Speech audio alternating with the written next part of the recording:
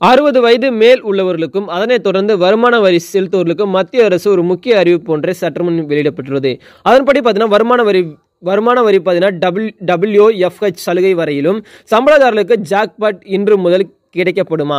மத்திய பட்ஜெட் ரெண்டாயிரத்தி இருபத்தி மூணானது இன்னும் சில வாரங்களில் தாக்கல் செய்யப்பட உள்ளது. இந்த பட்ஜெட்டில் பல முக்கிய அறிவிப்புகள் வெளியாகலாம் என எதிர்பார்க்கப்படுகிறது. தொடர்ந்து வரலாறு காணாத அளவிற்கு பணவீக்கம் என்பது பல நாடுகளில் அதிகரித்த நிலையில் பல நாடுகளிலும் மத்திய வங்கிகளிலும் வட்டி விகிதத்தின் அதிகரித்து வருகின்றனர். இதற்கிடையில் பொருளாதார வளர்ச்சியினை முடக்கிட பல்வேறு விதமான மறுசீரமைப்புகளை எடுக்க வேண்டிய கட்டாயத்தில் அரசுகள் உள்ளது. இந்த தருணத்தில் மத்திய பட்ஜெட் ரெண்டாயிரத்தி இருபத்தி மூணு தாக்கல் செய்யப்பட உள்ள நிலையில் இதில் பல முக்கிய அறிவிப்புகள் வெளியாகலாம் என எதிர்பார்க்கப்படுகிறது. பட்ஜெட்டில் இரண்டாயிரத்தி இருபத்தி மூணில் வருமான வரி வரம்பில் மிகப்பெரிய மாற்றம் இருக்கலாம் என எதிர்பார்க்கப்படுகிறது. குறிப்பாக ஐந்து லட்சம் ரூபாய் முதல் பத்து லட்சம் ரூபாய் வரையில் வருமானத்தில் உள்ள நடுத்தர மக்கள் குறைந்த வரி செலுத்தும் வகையில் அறிவிப்புகள் வெளியாகலாம் என எதிர்பார்க்கப்படுகிறது.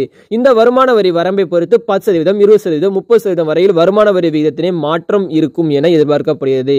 அது மட்டும் இல்லாமல் இந்தியாவை காட்டிலும் வளர்ந்த நாடுகளில் கூட இந்தியாவை விட குறைவான வரி விகிதம் உள்ளது.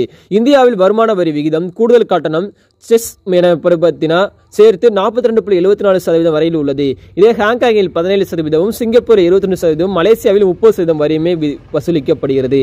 அதனைத் தொடர்ந்து பார்த்தீங்கன்னா ஒரு நிதியாண்டில் வங்கி வங்கி சேமிப்பு கணக்கிலிருந்து பத்தாயிரம் ரூபாய் வரை ஈட்டப்படும் வட்டி தொகைக்கு வருமான வரி சட்டம் ஆயிரத்தி தொள்ளாயிரத்தி அறுபத்தி மூணு பிரிவின் படி அதாவது எண்பத் எண்பது டிடிஏவின் கீழ் வரி விலக்கு அளிக்கப்பட்டுள்ளது. பிரிவு எயிட்டி சியின் படி அனுமதிக்கப்பட்டுள்ள விலக்கு தொகைக்கு மேலாக பார்த்தீங்கன்னா நீங்கள் பணம் கட்டும்படி இருக்கும். அதாவது இந்த பத்தாயிரம் ரூபாய் வரம்பை என்பதை ஐம்பதாயிரம் ரூபாயாக அதிகரிக்கலாம் என எதிர்பார்க்கப்படுகிறது.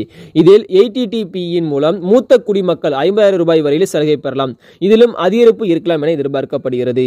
அதனைத் தொடர்ந்து பார்த்தீங்கன்னா பெற்றோர்கள் அல்லது பெற்றோர்கள் அல்லது பாதுகாவலருக்கு செலுத்தப்படும் மருத்துவ காப்பீடு பிரீமியம் வருடத்திற்கு இருபத்தஞ்சாயிரம் வரையிலும் நீங்கள் வரி விலக்கு பெறலாம். உங்கள் பெற்றோர் யாரேனும் அல்லது இருவரு இருவருமே மூத்த குடிமக்களாக இருந்தால் அறுபது வயது மற்றும் அதற்கு மேல் நீங்கள் வருடத்திற்கு ஐம்பதாயிரம் ரூபாய் வரி வரி சலுகையை பெறலாம்.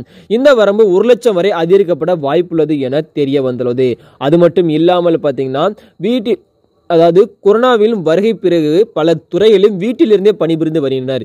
இதனால் வீட்டிலிருந்து பணிபுரியும் ஊழியர்களுக்கு செலவுகள் கூடியுள்ளது எனவும் ஊழியர்கள் வீட்டிலிருந்தே பணிபுரியும் போது அவர்களுக்கு பயன்படுத்தப்படும் table chair tea coffee lighting AC fan வசதி என அனைத்தையுமே நிறுவனமே கொடுக்கும். ஆனால் வீட்டிலிருந்து பணிபுரியும் போது இந்த ஊழியர்களுக்கு பெற்றுக்கொள்ளும் சூழல் உள்ளனர். இதற்காண்டி பார்த்தீங்கன்னா வரி விலக்கு அளிக்கப்படலாம் என தெரிய வந்துள்ளது. இதே மாதிரி முக்கிய அறிவிப்பை நீங்க தெரிஞ்சுக்கணும்னு நினைச்சீங்கன்னா மறக்காம நம்ம சேனலை சப்ஸ்கிரைப் பண்ணி வச்சுக்கோங்க. அனைவருக்கும் நன்றி வணக்கம்.